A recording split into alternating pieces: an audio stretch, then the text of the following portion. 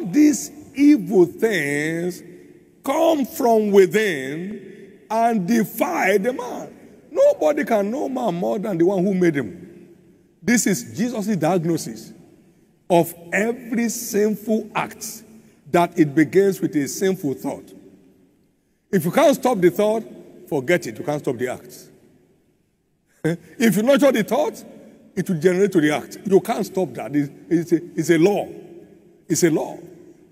Now, but we have the blood defense against every unwanted thought.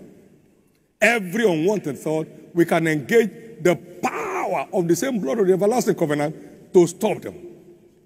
Now, Hebrews 9, 13 and 14, the Bible says, well, if the blood of bulls and of goats, of the eyes of an sanctified the flesh, uh, sanctified to the purifying of the flesh, how much more shall the blood of Jesus, who through the eternal Spirit offered himself without spot unto God, purge your conscience from dead works, deadly thoughts, to serve the living God.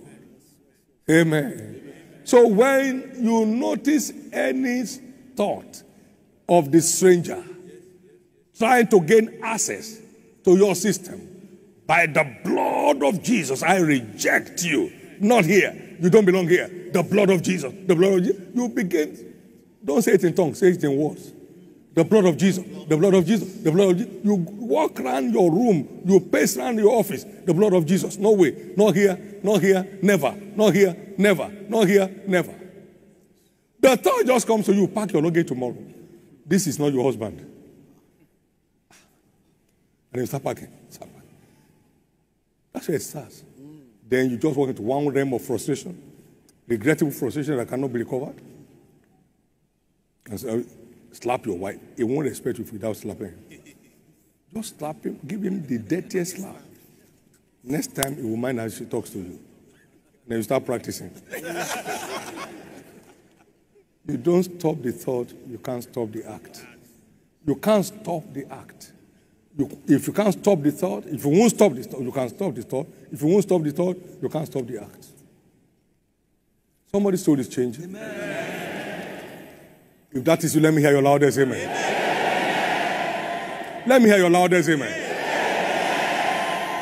Don't mistake activity for sanctity. I beg. We have done many great works in thy name. It's I know you not. Depart from me, me, ye that walk iniquity. Matthew 7, 22 and 23. Don't mistake activity for sanctity. There is no substitute for sanctification in our walk with God. Anointing is not a substitute. Depart from me. So many anointed men will not make heaven. We have done many great things in thy name. Depart from me, my friend. We prophesied with your and came to pass. Depart from me.